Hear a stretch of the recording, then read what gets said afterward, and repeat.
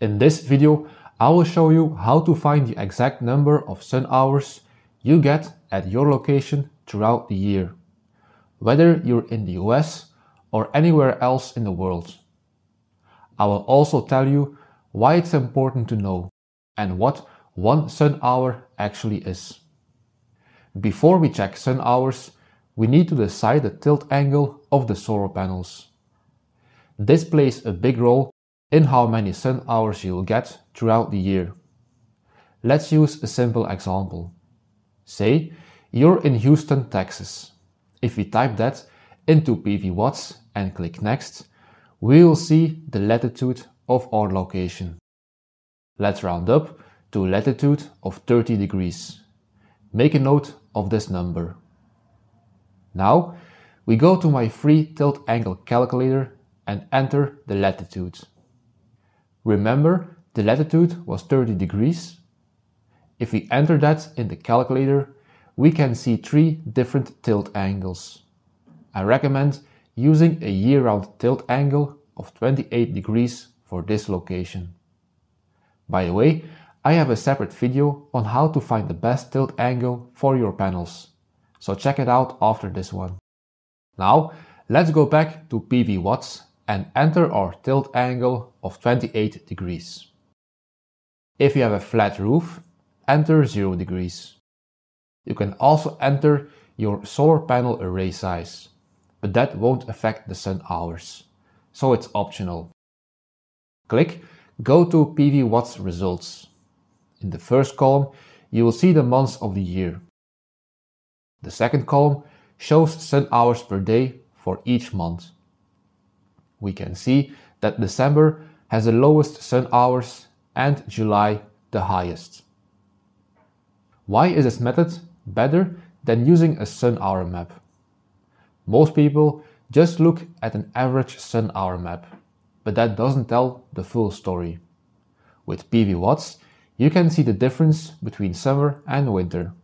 This is important because you can size your system for the worst case scenario in winter and you will know when and how often to fire up your generator if you're off-grid.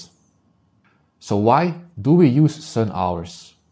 Sun hours helps us figure out how much solar panels we need to recharge our battery.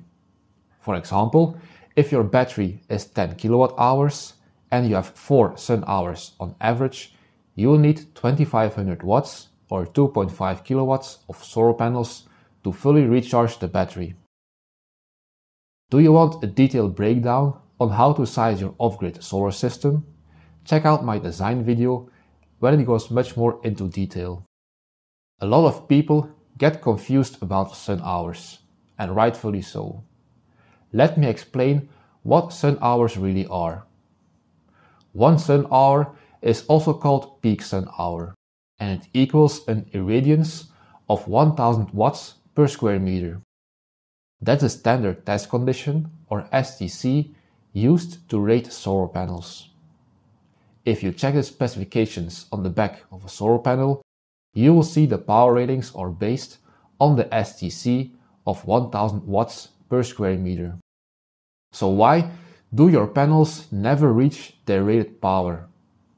You might have noticed a 100 watt solar panel rarely gives you 100 watts. That's because the real world solar radiation is often much lower, maybe around 600 watts per square meter. Some people think I have 8 hours of sunlight, so I have 8 sun hours. But that's not true. Because solar radiation will be lower than 1000 watts per square meter.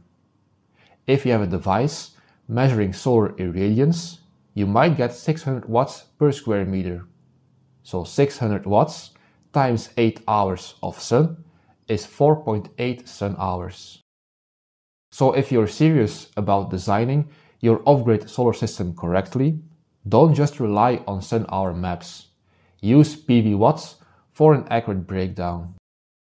If this video was helpful, consider liking it and subscribe for more videos like this. Check out my beginners playlist as well. Thank you for watching and I will see you in the next one.